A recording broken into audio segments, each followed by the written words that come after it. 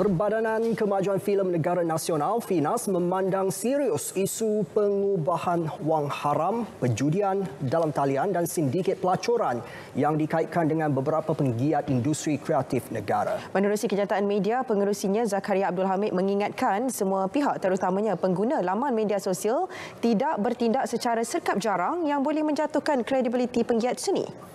Sehubungan itu, Finas memberi kepercayaan penuh kepada pihak berkuasa untuk menjalankan tugas dalam membuat siasatan dan mengambil tindakan yang sewajarnya. Finas juga sentiasa bersedia untuk memberi kerjasama kepada pihak berkuasa dalam menangani isu tersebut.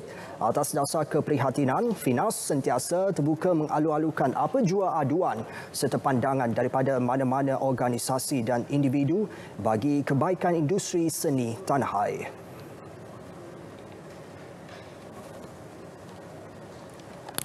Jabatan Kebudayaan dan Kesenian Perak dengan kerjasama Majlis Kebudayaan Negeri telah menganjurkan program Moh Nyembang Perak. Dan ia sebagai platform baik untuk penggiat seni berkongsi idea dalam mendepani pandemik COVID-19. Menerusi penganjuran berkenaan, lebih 50 penggiat seni dan budaya berjaya dihimpunkan. Antara isu yang dibincangkan adalah mengenai pelan pemulihan ekonomi serta rangsangan untuk penggiat seni menghasilkan karya dalam gaya norma baru ke arah pendigitalan.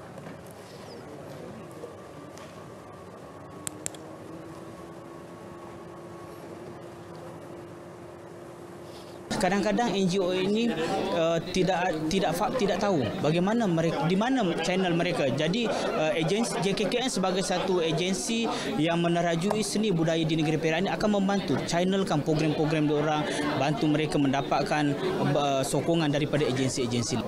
Bantuannya uh, dari segi kewangan lah. Uh, kewangan dan juga kalau dia tak ada ruang kita bagi ruang juga. Uh, contohnya uh, dia nak buat uh, persembahan teater tapi teater tu tidak ada penonton kan? Uh, kita kena kena ikut SOP kan? So uh, kita bagilah penggunaan dengan kerjasama. Beberapa barisan penggiat seni yang ditemui menghargai pelbagai usaha yang dilakukan oleh kerajaan dalam mengurangkan impak pandemik inisiatif yang dijalankan oleh kerajaan sangat pantas. Sebab kebanyakan mungkin banyak orang yang tidak nampak berat sangat tentang kesenian dan kebudayaan. Tapi kali ini saya nampak kerajaan uh, telah melakukan dengan sangat laju.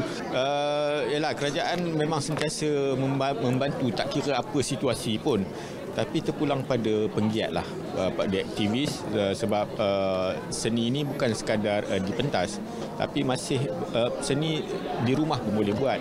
Bantuan-bantuan ini memang dapat amat membantu kami lah untuk dapat menggerakkan persatuan dalam apa uh, dalam apa menaikkan dan juga uh, membuat program-program apa yang yang yang sepatutnya lah.